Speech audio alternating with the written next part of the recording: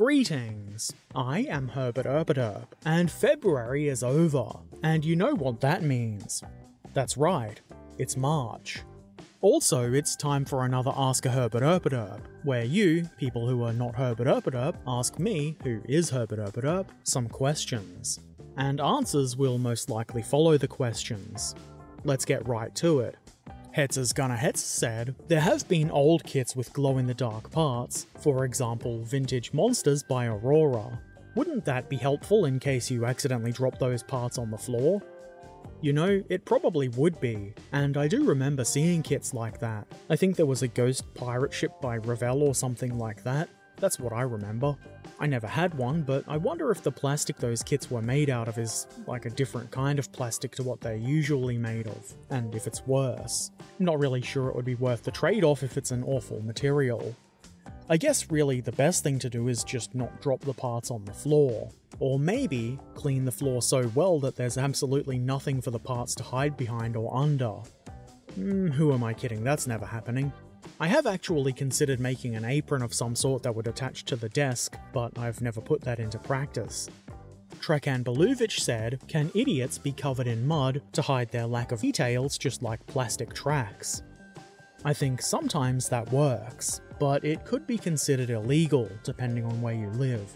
Also, I think because idiots tend to be quite loud and might resist, you'd have to use a lot of mud and apply it very quickly, possibly with some sort of mechanical aid.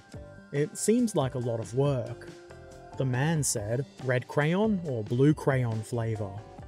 Neither. I'm a rebel. I'll take pink crayon. Mmm. Spanish boy said, if you had to move to a different city, what would it be? Hmm. I mean, if I'm being forced to move, a nearby city would be ideal and probably not involve high moving costs. So, like Gold Coast or Caloundra or something. I haven't really given this sort of thing a lot of thought because it doesn't seem like a possibility in reality. But I think I'd like to live somewhere in Europe or maybe Canada. Not the US though. I don't want to die because I can't afford thousands of dollars for insulin, and I don't want to get shot either.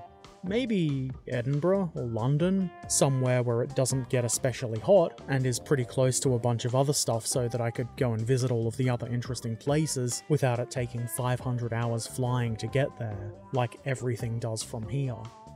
Martin Gotham shared this picture and said, How can I improve? I'm not much on figure painting, or telling others how to improve, but I would definitely suggest better lighting. This is backlit and that makes it really hard to see what's going on. Place the lights behind the camera, obviously not so the camera blocks the light and casts the model in shadow, but you want the light to be shining on the model so that we can see the model. I guess it's pretty common sense, but it's not intuitive to everybody, so maybe it's helpful. As for the painting, because of the lighting it's really hard to tell what's going on, and the question is really vague to begin with. What areas do you think need improvement? Hetzer's Gonna Hetz said, Have you seen the latest Nintendo Direct? If so, what were your thoughts? I don't think I've ever watched a Nintendo Direct, and I don't have any Nintendos, and don't really have a lot of interest in watching what seems to be quite a long presentation on their new releases and such. I never really watch any video game things like that. They don't really do anything for me.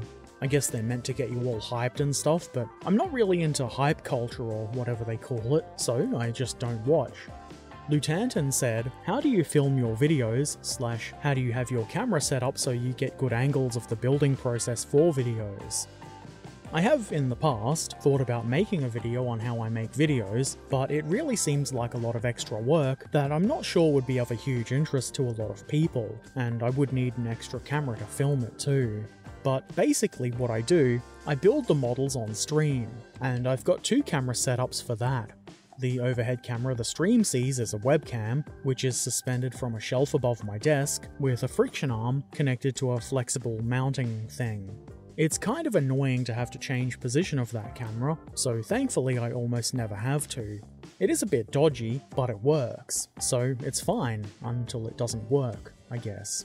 Then for what you actually see in the videos, I use my phone, which is in a mount attached to a desk mounted arm thing, and unless I forget, you'll see a picture of that here. This is intended for microphones, but you can get ball head adapters with the appropriate mounting screw for camera gear. I've been using that setup for a while, and it's flexible enough that you can get pretty much any angle you want, so it's nothing fancy, and if I was to switch to a DSLR for making videos in the future, I'd probably have to come up with something a bit different and stronger, but it works well enough for the foreseeable future, and it was inexpensive to put together, which is really the main thing. If enough people want to see how I do this stuff and put my videos together, I might reconsider doing that video. I'll have to get a camera from somewhere, but it might be worth doing. No promises though, of course. Hetz's Gonna Hetz said, Have you ever used Citadel's contrast paints? If not, would you be interested in trying some on one of your models? I've not tried Citadel's contrast paints. I haven't actually used any Citadel paints for probably close to 10 years now. I've seen a bunch of stuff about them, but I've never really felt the need for the contrast paints. Though, to be fair, I don't know that much about them, but I do know that Army Painter, at least I think it's Army Painter, has a similar product, and if I were to try something like that out, I think I would choose the Army Painter one. I've heard that it's quite a bit cheaper, and it comes in dropper bottles. Spanish Boy said, Have you listened to any war song bands before like famous Sabaton, or the less famous Russian Kassad, or the Blue Berets? If you haven't, I would recommend them. Some really nice lyrics and music, but I would suggest YouTube channels with the translation. I've been a pretty big fan of Sabaton for a while, and I saw them a few years ago with Amon Amarth. Of course, being Australia, we didn't get that cool tank drum riser, but it was still a really good show. I would say though that calling them war song bands doesn't really seem appropriate for Sabaton. It makes it sound like all they do is pro-war songs to get people riled up to fight. And the people who are getting that sort of message out of Sabaton songs are people with poor media literacy. Obviously most of Sabaton's stuff does involve war history of some sort, though really it's more like, here's a simplified history of something that's happened that we've kajiggered to fit our music, rather than anything I would think of as war songs. I've never heard of Kassad and Google didn't help at all, and the Blue Berets, unless I'm not finding the one you're talking about, are a Russian military band, and it would be really easy just to say not interested because of that, but I did decide to watch a video. It didn't really do anything for me, it just seemed really bland and not very good.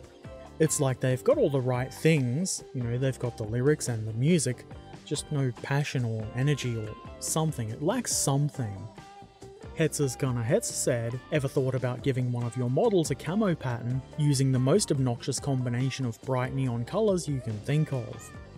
I think most of you would be rather surprised if I said no, I haven't considered it.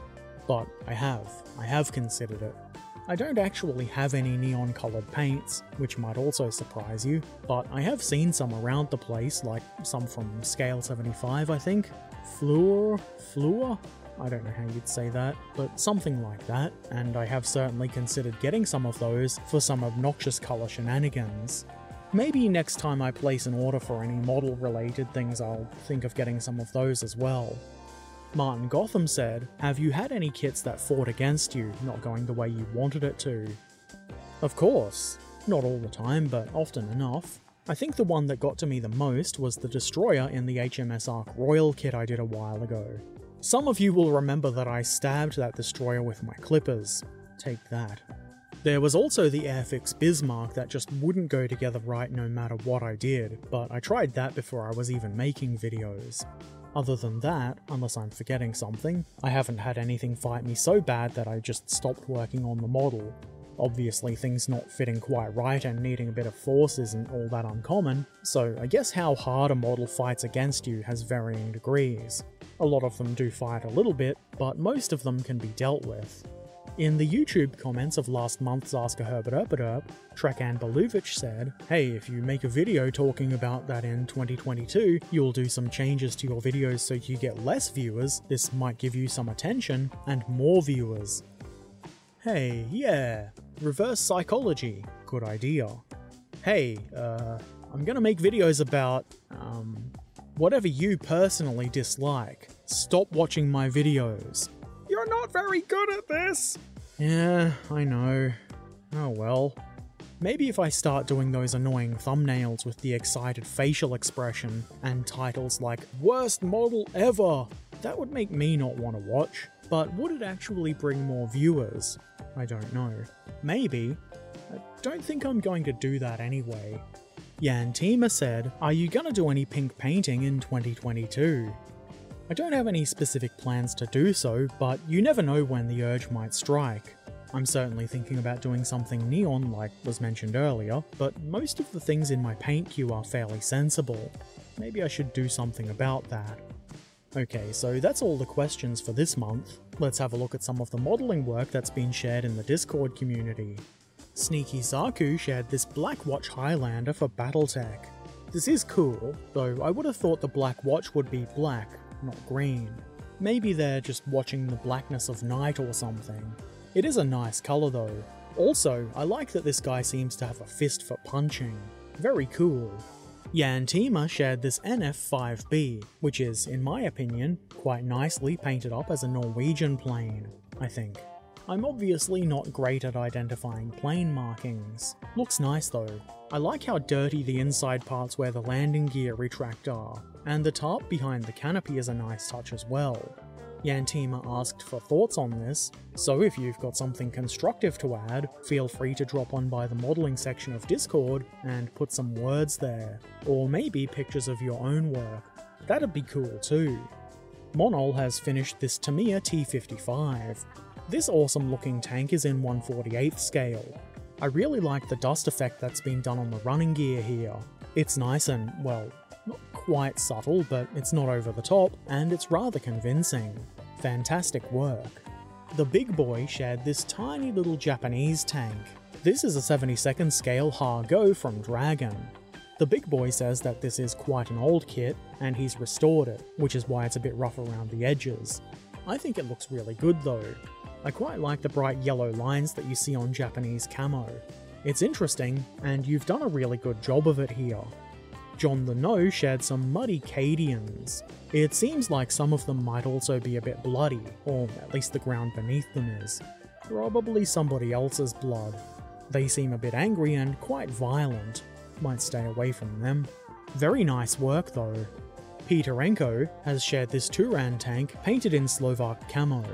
This is the IBG 72nd scale kit, and I've got to say, it looks really good. The tank looks nice and dirty, like it's been used fairly well, but it isn't absolutely filthy, and the dirt isn't over the top. It's tastefully dirty. That seems like a good way to put it. Very nice work. Okay, that's all of the models for this month. Obviously it's not everything that's been shared on Discord, and if you do want to see everything, feel free to drop on by the server and have a look around. As always, I'm very thankful to those who share their models, ask the questions, and especially I'm thankful to those who support me on Patreon or through Twitch subscriptions. It's very nice of you. Ask a Herbert Herbert will return next month, so if you've got a question, you know where it goes, I assume. And if you've not already done so, why not subscribe here on YouTube for the low, low price of absolutely nothing? Or if you've got the means and you want to help me do the things I do and see my videos a bit early and be able to voice your own questions with your own voice in Ask a Herbert Herbert Herb, consider becoming a patron. You can find links to Patreon and all my other things like Discord and social media in the description below. And, as always, I shall return soon. So until then, be excellent to each other, have an amazing day, and thanks for watching. Farewell.